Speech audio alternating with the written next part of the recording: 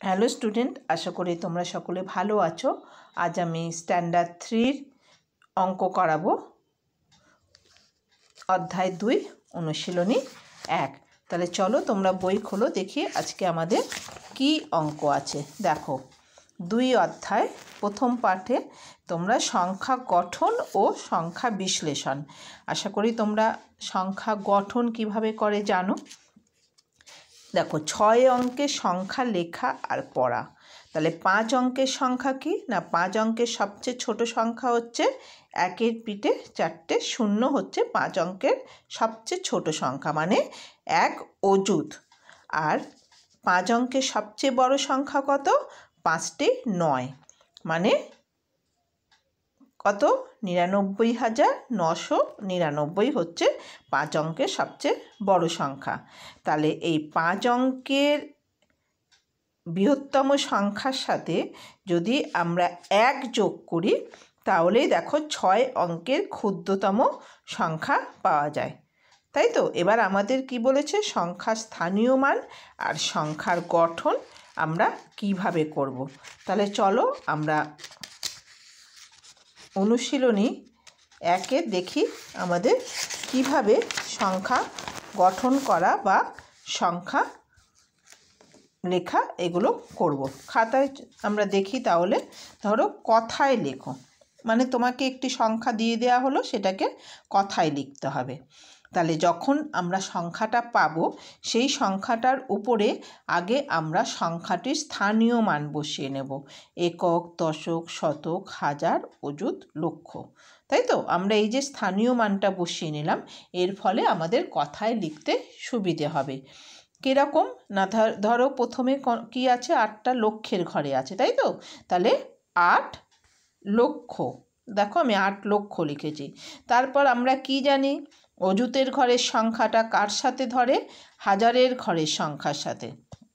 তাহলে অজুতের ঘরের সংখ্যা আর হাজারের ঘরের সংখ্যা দুটো নিয়ে কত হলো? সাতষট্টি। দেখো সাতষট্টি হাজার, তাই তো? তারপরে দেখো তোমরা শতকের ঘরে কত আছে? পাঁচ। মানে পাঁচ শত দশকের ঘরে কত আছে? নয়। আর এককের ঘরে শূন্য। আবার দশক আর এককের ঘর মিলে কি হলো? নব্বই, তাহলে আট লক্ষ সাতষট্টি হাজার পাঁচশত নব্বই।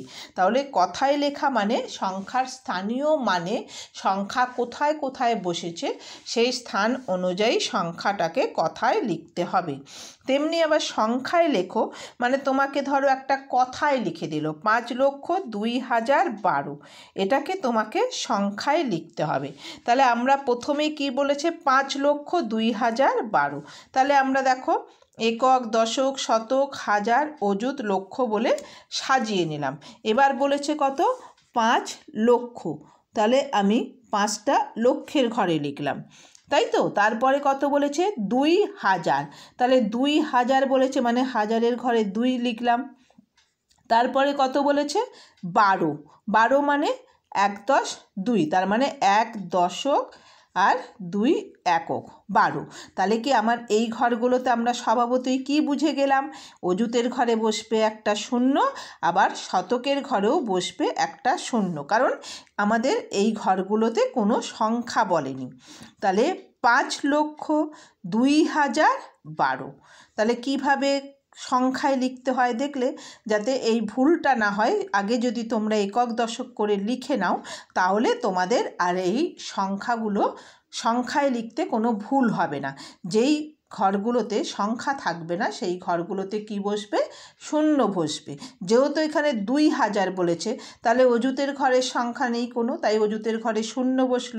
আবার যেহেতু দুই হাজারের পর বারো বলেছে, তার মানে শতকের ঘরেও কোনো সংখ্যা বলেনি, তাই শতকের ঘরেও শূন্য বসল।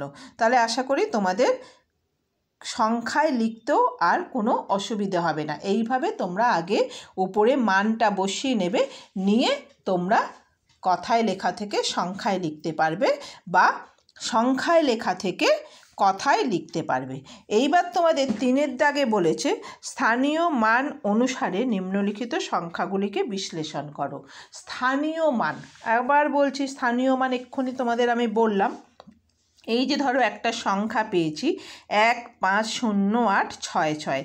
এই সংখ্যাটার স্থানীয় মান অনুসারে বিশ্লেষণ করতে বলেছে। আমি প্রথমে আবার স্থানীয় মান বসিয়ে নিলাম। তোমরা প্রকৃত মান আর স্থানীয় মান নিশ্চয়ই শিখেছ। স্থানীয় মান হচ্ছে যেখানে সংখ্যাটা বসে, সেই স্থানটা হচ্ছে সংখ্যার স্থানীয় মান। আর প্রকৃত মান কি? সংখ্যার নিজের মানটাই হলো প্রকৃত মান। যেমন ধরো ছয়, ছয়ের হচ্ছে প্রকৃত মান কত? ছয়। আর স্থানীয় মান কত? একক। আবার এই যে এই শতকের ঘরে আট বসেছে, আটের স্থানীয় মান কত? আট শতক। আর আটের প্রকৃত মান কত? আট। এগুলো তোমরা আগে কিন্তু শিখেছো, তাই আমি আর বললাম না। এইবার দেখো, এই স্থানীয় মান অনুসারে তোমাকে বিশ্লেষণ করতে বলেছে। তাহলে এই সংখ্যাটার প্রথমে দেখো কত আছে? এক লক্ষ। এই এবার এক লক্ষটাকে আমাদের বিশ্লেষণ করলে কি হবে? এক লক্ষ লিখব মানে একক, দশক, শতক, হাজার, অযুত, লক্ষ মানে একের পিঠে পাঁচটা শূন্য। তারপরে কত আছে দেখো? তারপরে আছে পাঁচ অযুত মানে পাঁচে পিঠে চারটে শূন্য। তারপরে দেখো হাজারের ঘরে কি আছে? কোনো সংখ্যা নেই, শূন্য। তার মানে এখানে হাজারের ঘরেও আমাদের শূন্য। তারপর শতকের ঘরে কত আছে? আট। মানে আট শতক। আটের পিঠে দুটো শূন্য। তারপর দেখো, দশকের ঘরে কত আছে? ছয়। ছয় মানে ছয় আর শূন্য, তাই তো? দশকের ঘরের সংখ্যা হচ্ছে ছয় আর শূন্য। এককের ঘরে কত আছে?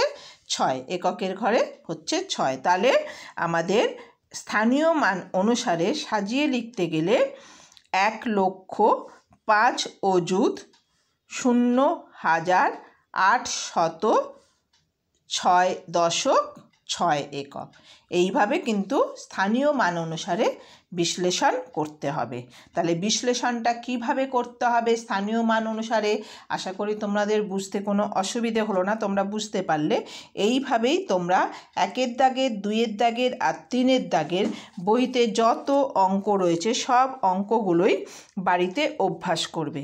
এর মধ্যে থেকে আমি তোমাদের দুটো তিনটে অঙ্ক করতে দেব এইচ ডাব্লু সেগুলো তোমরা শুধুমাত্র স্কুলের খাতায় করবে আর বাকি অঙ্ক বাড়ির খাতায় করবে। শিক্ষার্থী বাড়িতে তোমরা ভালো করে অঙ্ক অভ্যাস করবে।